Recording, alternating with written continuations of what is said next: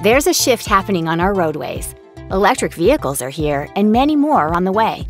The number of electric vehicles on the road is expected to increase dramatically, and with this, added demand for electricity. So, the big question is are our utility companies ready? Are you ready?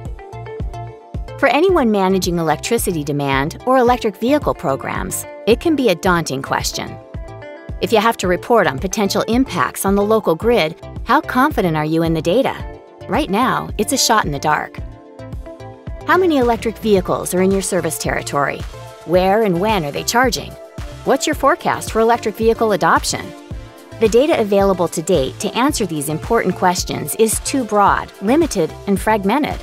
Utilities need a solution that not only helps them prepare for this change, but also to help them manage it in the future. Smart Charge Rewards is a technology based solution that not only helps utilities monitor and plan for electric vehicle electricity demand, but it can also help shift electric vehicle charging to preferred hours.